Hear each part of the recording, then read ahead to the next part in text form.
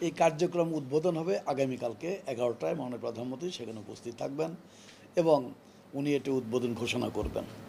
দিনগত রাত, কালকে আট তারিখ, দিনগত রাত থেকে আমাদের হয়তো রাত তিনটার থেকে বোধহয় ফ্লাইট শুরু হবে মনে হয়। রাত্রি তিনটার থেকে ফ্লাইট শুরু হবে এবং কার্যক্রমগুলো আমাদের চলতে থাকবে ইনশাল্লাহ ভিসা নিয়ে কোনো সমস্যা নেই ইনশাল্লাহ এটা যে যেভাবে বলে, বলুক, আমাদের ফ্লাইট যখন যেটা চালু হচ্ছে, প্রত্যেকটা ফ্লাইটের এগেনস্টে আমাদের হজ যাত্রীরা তারা কিন্তু টিকিট নিচ্ছে ভিসা নিচ্ছে সব কিছুই করতেছে, কোনো সমস্যা নাই বলে আমি মনে করি। একটা জিনিস হয়তো আপনাদের কাছে থাকতে হবে যে আজকে লাস্ট ডেট সাত তারিখ। এইটাই হলো আপনাদের কাছে সন্দেহ। আপনারা নিশ্চিন্ত থাকেন ইনশাল্লাহ এটা কোনো সমস্যা হবে না এবং সুন্দর নির্দ্বিধায় আমরা এটা চালায় নিতে পারব, সেই সুযোগ আমাদের কাছে আছে। সৌদি সরকারের যে বক্তব্য ছিল সেটা আজকে ডেট সৌদি সরকার যে আগামী দিনে এটা কি করবে, না করবে, সেটা কি আপনাকে জানাইছে না আমাদেরকে জানাইছে? জানায় নাই।